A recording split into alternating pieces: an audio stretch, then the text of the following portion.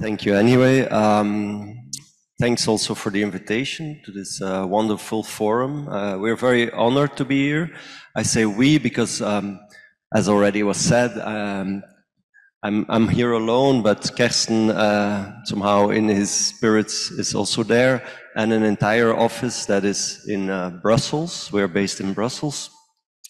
And uh, today I wanted to just show you since, uh, well, this is the first time I'm in Ukraine, and um, so we, we cannot really relate to, to the country, but I guess with a certain uh, European practice as we're having it from Brussels, uh, we wanted to show you projects to, to somehow share ideas on, on how, how architecture can be made, uh, has been said, in a certain way with a simple set of tools and means, and still be very uh, powerful as a, as a subject to, to think, to discuss, to communicate, and uh, to make community.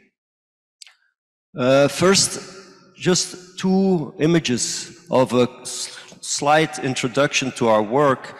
This is a old work I mean, old is from 2005, a competition uh, for a border crossing, pedestrian border crossing between the United States and Mexico. And uh, this is a design we made and uh, we won the competition in 2005. Uh, it has never been built, but the ideas are very simple, you could say. Uh, the, the, you, the, there's, a, there's a big fence between the two countries in the desert and you can make maybe the, the, the no man's land, the, the, the kind of um, in-between land uh, look like the promised land. So something between Mexico and the U USA becomes an oasis, an oasis with a, a, grid of palm trees that gives you shade uh, while waiting uh, in one for to enter one or the other country. It's sort of a, a critique, but at the same time, it's also a very, um, let's say, human and, and very pragmatic approach to, to that kind of situation. A very different project. This is uh, more recent, but uh, it's a house in Spain we made. Uh, it's totally self-sufficient house in the in the middle of nature near uh, Barcelona we were asked to, to, to think of a house without any further limits in, in, let's say, program. We were given carte blanche, as they call it, uh, to think of what is a house in this landscape and how can you so-called survive and, and, and live there uh, during holidays. Um, and you can see these are very basic architectural uh, geometries. One was a rectangle, uh, a wall surrounding palm trees. The other one, the house, is a, is a, is a pure circle that again surrounds a piece of uh, wilderness, looking out to the wilderness. And I guess our architecture you can describe as trying to look for this simple form, simple means what can you say, and at the same time, what does it do to its immediate context? This is an exhibition we made, and you can see a, a bit of uh, models mixed with art pieces, mixed with, um, with, with other models, with paintings even. It was in a museum in Brussels, and it's one of the rooms, so there were many rooms, and this was one of them. But I, I think this object and this mix of scales and and impressions and materials is exactly what somehow characterizes how we work. And for this next part of the lecture, I will talk about four urban figures, I called it today. It's more because of the projects are more recent and have a certain urban um, impact in its own simplicity. More or less, you will see uh, what I mean by by looking at the projects. So first project, this is a um, project for Bahrain. It is, uh, it's called the Pearl Path. And on the Pearl Path, there's actually three projects. Well, the Pearl Path itself, there's a, a building for traditional music on the Pearl Path, and there's a, a long bridge being part of that Pearl Path to cross a road. But this is uh, in Bahrain, in Muharraq, uh, the old part of Bahrain. And this is Muharraq, as you can see it on the screen. Muharraq is actually the old Arabic uh, town of Bahrain. So you see the capital is on the left side. This is Muharraq, the actual first settlements where you feel really the Arabic maze of the city as we imagine it. And, uh, and it's, this is where the project happens. And uh, just to give an idea, this is Bahrain, it lays in the Arabic Gulf, uh, next to Qatar actually. And uh, there's uh, the white dot on the top, that's where Muharraq lays. And, and um, so this is actually Muharraq uh, seen from the air, but this is 1930s.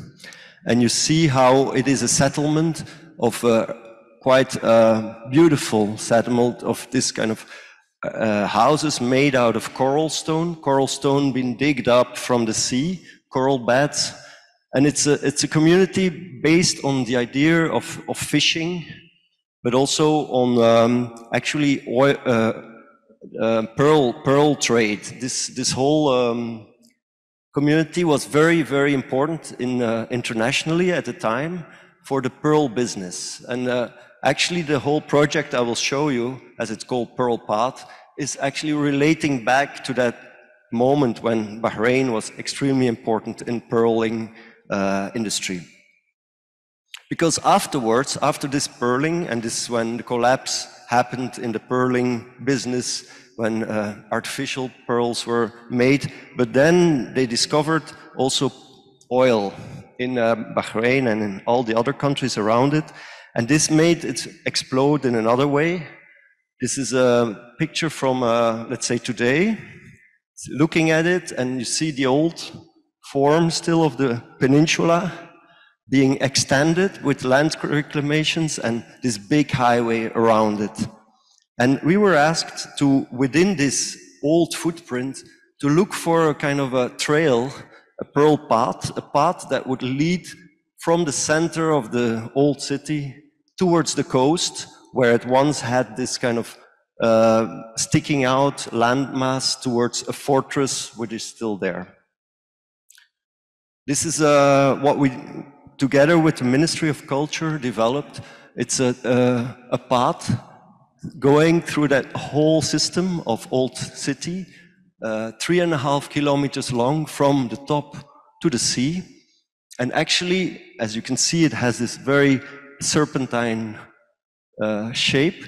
It is also a kind of a challenge to find your way through this maze. Uh, this is a, a path that the, uh, the, the, Department of Culture in Bahrain asked to be part of um, UNESCO World Heritage, and they got it. Uh, and so they wanted to, to, to show it to the visitors. Here you can see it again. This is how we traced. So you have the two shorelines, the old shoreline, the new one, plus, let's say, the, the path that is in there. And the path somehow consists of a set of real monuments. This is like 12 uh, actual monuments, restored buildings, uh, part of the pearl trade, like the, the captain's house. This is the, the trading of uh, the pearls, uh, the, the, the mosque, uh, many other, the fishermen's houses, etc. And they're part of a sort of a system, but they're especially also part of the city. The city around it is as valuable because it's really this old Arabic city. And so within that, we, we drew that line and we, we somehow discovered there were a lot of opportunities. That's what we called it. And opportunities you can see here in these blue dots. And opportunities are actually moments where we thought, how can we make actually this path without really drawing a line on the floor? That would be too easy. And so we, we started with these images, they are somehow suggesting what could a, a pearl path be. It's, it's, it's moments of, of, let's say, help, we called it. It's almost like a, like a bread crumbles that you find on the road uh, to, to guide yourself through the labyrinth. And at other cases, there's moments of, of opportunity where you have more space, where actually the city has, has been demolished. Um, cars were parked there, but actually there we could introduce some moments of, of urbanity, some small uh, squares, if you want. And this is a final, uh, let's say, concept in which uh, a pearl path, as we thought it should be, three and a half kilometers long, could be actually implemented in the city. It's a set of lamp posts designed very carefully by us, being very specific already. And then sometimes they lead you to these little squares, little squares that fill up an empty area, uh, was a kind of demolished city block of before and somehow reconstitutes the city in its mass, but also creates just a small square for a community around it and some shade, because it's of course extremely hot in Bahrain in the summer, also in the winter actually. And this gives you a little impression. This is a, a small part of this path.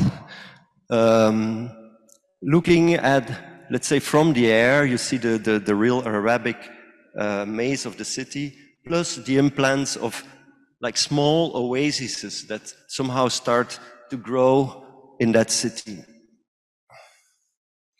And this is a drawing we made also. It's uh, actually we made, uh, uh, let's say, 22 uh, little squares all along that line and these 22, they, they, you can consider them as a kind of intimate moments of, of urbanity and of, of social life, of, of little squares, as I call them, because they're not really a square. They're more like room sized.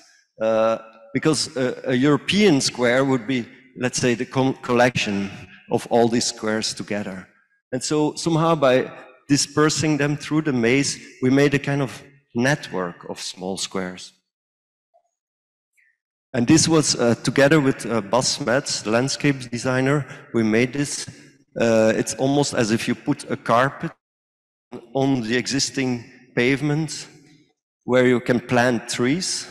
You can have lights, benches, some water element to drink, and that's, that's about it. But it creates like small microclimates within this city uh, of Muharraq. And here you can see it. We worked a lot on, let's say, how to materialize that. What is this microclimate? First of all, of course, you need the trees. But um, we also worked uh, very hard on how to materialize, let's say, the stones in which we would make it. So these are stones polished with, which you don't see on the picture, but with uh, mother of pearl elements within the stone. And so in day with the sun, but also in night, it, it kind of sh uh, shines in different ways, this uh, stone. And so everything is made out of this stone. So the, the, the square itself, there's tiles, the, the lampposts, the benches, the water element, they're all part of this small universe of, let's say, pearl, mother of pearl stone. And then, of course, the lights, they, they kind of jump out and they start to lead their own life and guide you towards uh, the next little square. So like this, and you, you understand what I was talking about, about the Arabic maze in this kind of, it's, it's a very uh, beautiful actually uh, maze and there's lots of houses from different times. It's, it's not the houses that are really monuments, but it's rather the maze and it's its footprint as such that is so beautiful, the labyrinthic quality of it. But just by following the light, you arrive again into another one, and you can see people really use it because there is this microclimate. It's really two, three degrees um, colder or cooler under these trees, and you can sit down and just uh, I don't know, do something here. I don't know. He has some activity. Um, again, following the lights further to, to, towards the other set of the maze, encountering other small moments of squares. And, and as I said, they somehow create, recreate mass where the city had lost its, its kind of massivity, but just with trees. And, and at some point, and this is, of course, another project I'm going to show you, you encounter this. Uh, and, and, and weirdly enough, the building was first and the path came later, but uh, it seems as if the, the light post jumps into the building with these columns, as you can see in concrete. Um, the light post is actually leading you along this project we made in 2012 in, uh, in Muharraq in the center. It's for um, traditional mu musicians, um, traditional music of pearl divers. And pearl divers, they were the people who would uh, traditionally go out in the sea and, and, and look for the pearls in the water, dive them. And the whole idea of that was we were two weeks on the sea and all men and they were together and they would make music just to to uh, kill time, let's say, and this kind of rhythmic music, clapping and, and using as a kind of uh, um, drums, the, the, the fats they were just uh, traveling with. And this music became so uh, important that people took this pearl diving music back to the coast and started playing the music also in the houses. And the, the Arabic word for house is dar, and um, so we had to make a dar, a kind of a house for pearl dive musicians. And that dar is something, as we you saw our first collages of the pearl path, but in a similar way, we made this as an idea. It had to relate to the old city as a building. It could have three floors. That was the regulations. Like in the area, you have like one, two, three floors. But we somehow decided to relate to the first floor with a, kind of tapered shape, and then to make a volume like this that somehow, not only with its volume, but also with its transparency, uh, plays with the idea of what is intimacy within such an Arabic maze. This is the plan, so it's actually essentially an, an extension of this um, existing house where they already were playing. And we used to, uh, we made a new, let's say, room outside of that system more as a kind of a um, performance space, a, a, little theater, if you want. In the city, how it somehow relates in its silhouette towards the other buildings, to its neighbor, immediate neighbor, and, and how it also sticks out. And here you start to also see the importance of the materials we used. Uh, this, this is a building fully actually dressed in a chain mail. Uh, it's like a, a, big dress made out of metal, um, metal rings that are eternally combinable, so there's no joints. It's like a real tissue. And it somehow has this kind of a, the dust of the city, let's say, is also part in the building, but it doesn't matter because somehow it has this kind of a, let's say, a, a kind of clothing for it. And, and, and as a clothing, as a, as a kind of veil, it can fall down, and that's a kind of typical daily moment. But at some other moments, it can come up. And that's very important because actually this building has a very important public function within the maze. Uh, at some point, it opens up, and this first floor it's uh, surrounded by these columns, surrounded by a perimeter of uh, utilities, a stair, some a toilet, some, some technical cupboards.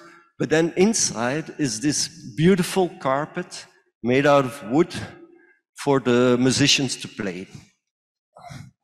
And this is repeated three times. There is a kind of educational center. There's also some residencies on top for musicians. And so in that sense, it can exist as a kind of small theater in the city. And this is how it somehow opens up. But you can also, this is how it relates to the neighbor, but the whole space can open up fully. And I cannot show it. I don't have pictures today with me of the performances, but this is normally full of people in the streets and then the musicians in the center playing this traditional pearl diving music. Other days it can close totally and it become more of a kind of an intimate meeting space for the, for the same people or other guests that are invited. And within the net or the, the kind of mesh around the building and the space inside, there is this circulation space to go up. This is a view from the, um, the educational space towards the city again, with one facade totally opened. And here we're up where the residencies are in, inside this silhouette in the city. So we walk out and we continue, we continue the, the last piece, the trail, the pearl path along these narrow streets in, um, in Muharraq. Again, another small square to finally end up in the last thing we built, which is this uh, pedestrian road crossing. Because as you have seen in the beginning, there has been built this enormous ring road in a reclaimed area of land around the old peninsula, totally erasing, let's say, its old shoreline and adding this enormous uh, five lane ring road. So we had to cross that with a very simple bridge, let's say, pedestrian crossing bridge, to be able to reach the old fortress on the downside. This is this last part of the drawing I was just showing to you. It's a bridge of uh, 120 meters that crosses from the old city over the ring road towards the, actually the, the original coastline, the only original coastline left. And so this is a drawing from the sky. It's, uh, you can see how it goes from the beginning till the end to, towards the fortress. And here, uh, in how it is actually materialized, it's a set of feet that hold together one very big white line uh, that is the bridge itself. With an elevator and a stair going up, crossing this entire length of Ring Road, and finally having a view already of the modern Bahrain. This, this is Manama, the actual capital we look at in the back, the skyline of Manama. To come to the end, to the actual original coastline of Muharraq, looking at the fort, the fortress, the other side, Manama, and this kind of old uh, heritage of, let's say, the pearl uh, path and the pearl business of before. Uh, two projects, no, three actually left. I will go quickly. This is apparently I only have five minutes left. Uh, the beer project in uh, Brussels. Um, I will have to go very fast. This is a, uh, at the canal, a very interesting joint of, let's say, different scales in Brussels. Industrial, uh, very poor neighborhoods, uh, the canal itself, and, and, and port activity. And uh, we were asked, or we actually won a competition to make a, a, a new brew, uh, brewery, a beer brewery in that in that site. You will see um, it, it's kind of a hinge in that site. It's like between uh, these big uh, uh, warehouses, the 19th, 19th uh, century city part, the harbor for a part. So, but all quite tough and, and quite derelict in its state and a kind of conflictuous uh, area in Brussels. But the building the new brewery should somehow try to understand these difficulties and as a building turn the energy the other way to, to go from, let's say, a very backside, uh, dirty area into something new, something that is uh, a new beginning of the site. And this is what uh, has been built. This is actually construction picture Uh, it was almost finished, the building. So you can see there's this backside here, which is like building materials at the harbor scale. There's the other side with the warehouses. And then there's the neighborhoods, which are quite tough and, and poor, but as a kind of new activity implemented and contemporary activity of uh, beer brewing, we, we somehow realized that you could make that hinge just with a building. And the stripes of colors, in, case you were wondering, actually the beer brand, Brussels Beer Project, has always a diagonal different colored stripe on, on the bottle uh, to show its different uh, types of beer. So you have always a different color. And so we decided to make almost like a flag, which is the roof, which you're under. You will see this now. So a flag out of the different colors of, of the beers they produce. And a, a space, and these were first collages we made that would somehow shelter this activity, but at the same time, with its roof and with its content, be part of the city with a very direct industrial infill, which is the brewing process. Till even you go on top in this building, and there's even public moments, a small bar, uh, a bar that is part of the city overlooking the landscape. Because this is the section of the building, it's actually one big shed roof that has positioning for these big, big uh, brewing vats. And then underneath more like the typical other processes of canning and putting uh, beers in the, in the bottles uh, or in the cans and, and, and so on. Ground floor with uh, four openings, one towards the north, which is the little square in front where you see a kind of vitrine of the production. On the east, you get the entrance. In the west, you have actually, uh, south, you have the full garden, uh, a beer garden, a real beer garden where people come actually today, tomorrow, all the summer days it's full.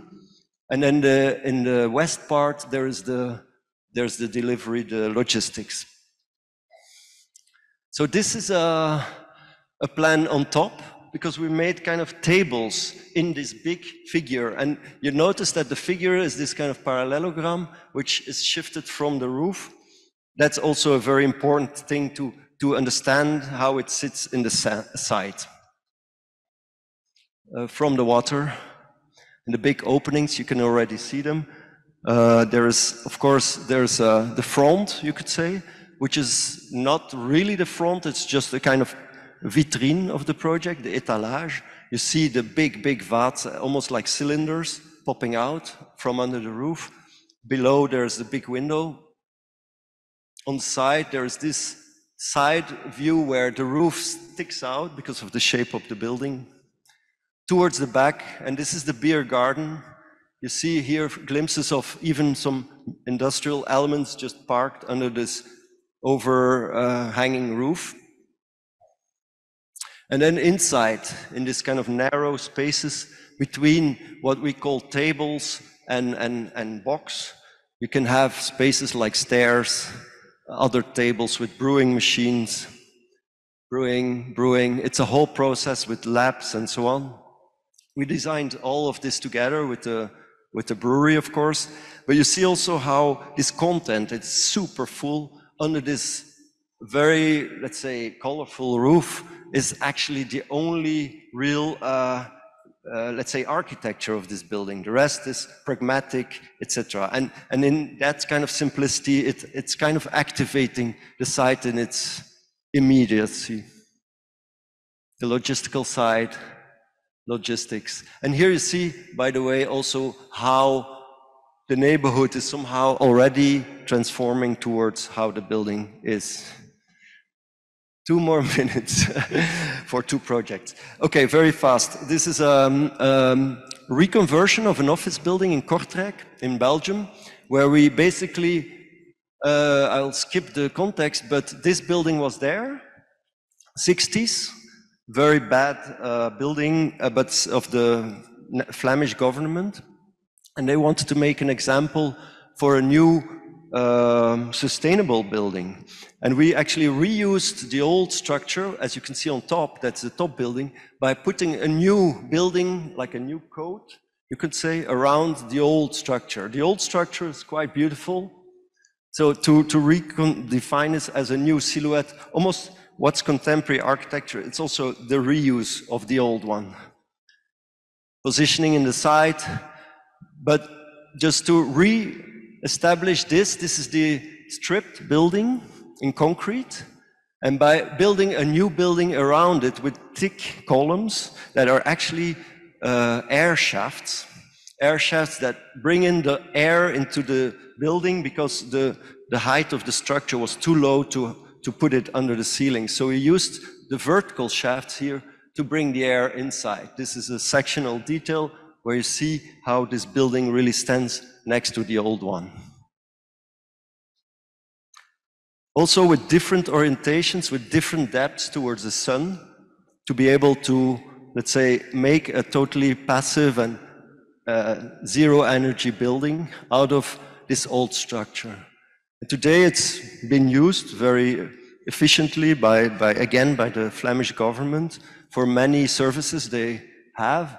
But here you also see from the inside the, the kind of how, how old and new work together. The, the old column, the old roof, uh, ceiling, and the new column standing outside with actually the, the, the grills for ventilation.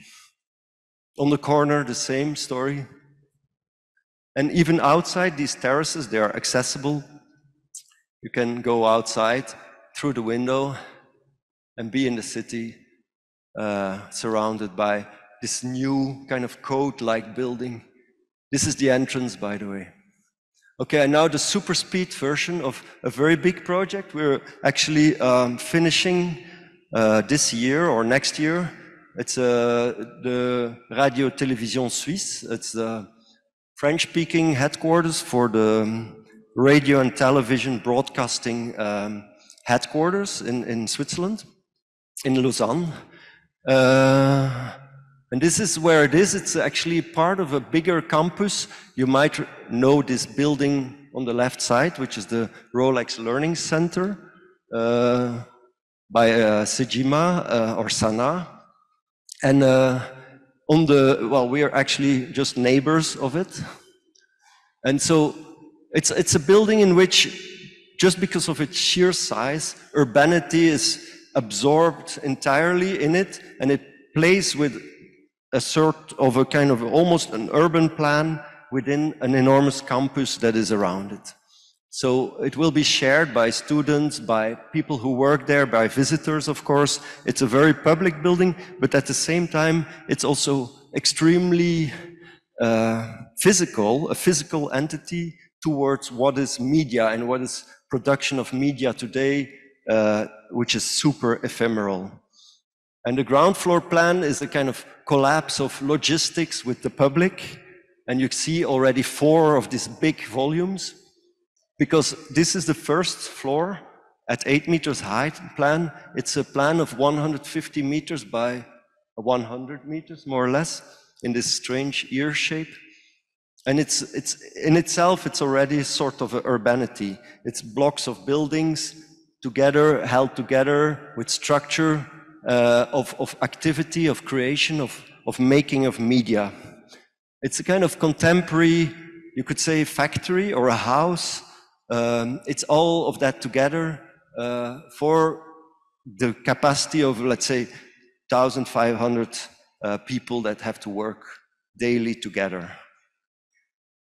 And that happens all in this one layer, suspended above the campus at eight meter height and held up by four uh, volumes. It's, it's almost like a, a kind of software package. And then there's the hardware that can happen in, in the bigger boxes. First collages that we made during the competition that show that capacity and the inside of that space. And now I'll just show this is the model. We it seven years ago with the hardware, big studios, and, and, and the software. Creation of media is like a big, big field where everybody works together. And of course the structural system. And this is uh, today, just took some building site pictures to show you today uh, how it is. And we're actually almost finishing with the roof now, finishing this amazing space that is created where these thousands of people, or at least 1,000, will work together, creating media. This is uh, seven and a half meter high, if you want to know. And then there's the bigger volumes again, holding hardware, studios, things, circulation also, where you can come down in the campus, where logistics and public and visitors, they will just be coexisting. And it's the last picture of my lecture. It's almost there, the building. Thank you. Thank you so much.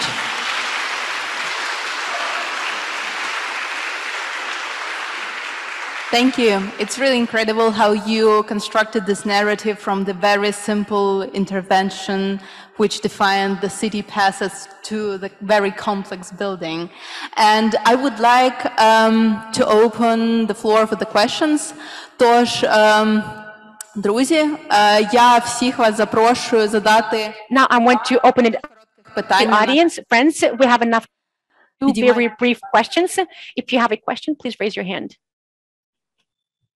Я бачу одне питання. I can see a raised hand there. Okay, I was first. Uh, Thank you.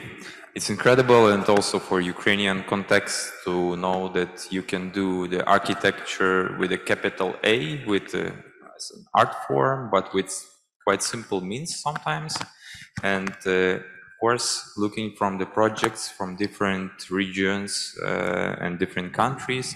But uh, what is maybe similar is the materiality so in many of your works, it's uh, metal, concrete, and uh, these opaque uh, and sometimes transparent elements. Um, so I'm just wondering what uh, materials in terms of architecture and local, local sources of materials place in your architecture. Is it important or is it um, somehow like uh, architecture is reflection of international, uh, global um, economy in terms of uh, construction materials? Um, I think a sentence we use often is uh, economy of means, uh, which, uh, well, translates how, exactly how, what it means in the sense that there's an economy and there's the means and towards it. And this is really a, a way of working, how we work in the office. But it's, it's also at the same time, um, so, so there's, let's say, a project with a quite high ambition, but then there's the reality of a budget. And I guess we always, or at least try to manage to never lower that ambition. Uh, like the Switzerland project, it's kind of ambitious in its first step by raising up the entire floor of uh, production, a floor of 120 by uh, 100 meter.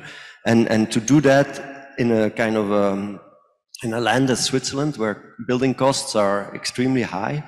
But, but we, we managed working together with, with engineers, uh, thinking about structure, about materials also, of course, to, to get this building built in a kind of very reasonable budget. Um, and, and I use now the big example of Switzerland, but I, I could apply this to, to the, the beer brewing project uh, you, you, uh, you saw as well, because there it, it was really the budget was nothing. We get uh, the budget of a industrial shed basically to to build um, a fully working brewery. And and of course you can wonder where's architecture? Uh, where do you find, as you call it, the architecture with a capital A?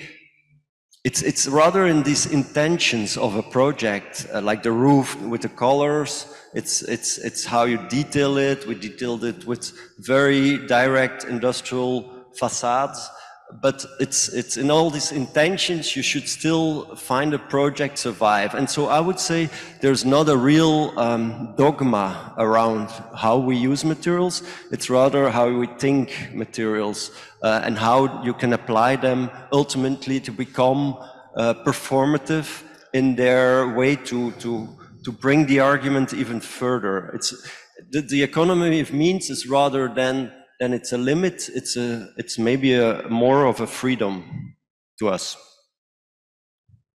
Thank you. Um, я обіцяла ще одне питання. Якщо в когось є. Time for one more question. Do- Another question? Yes, I can see one more. В мене є одне Uh, питання, яке Question? стосується What відновлення України. is relevant На вашу думку, Ukrainian recovery after war? брати для In України your opinion, what це Ukraine opt? Is it fast solutions to build um, residential just for people that have lost uh, their homes uh, in previous presentations?